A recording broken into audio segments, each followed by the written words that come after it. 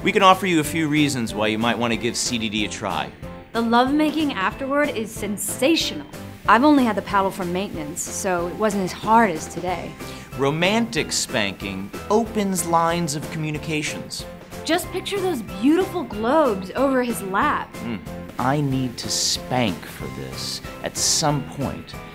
This is not punishment, folks. Think instead about spanking as foreplay. Spanking builds trust between partners. There's nothing like having friends that truly understand the lifestyle.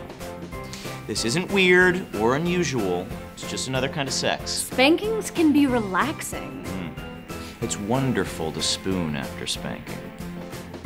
Please pray for me.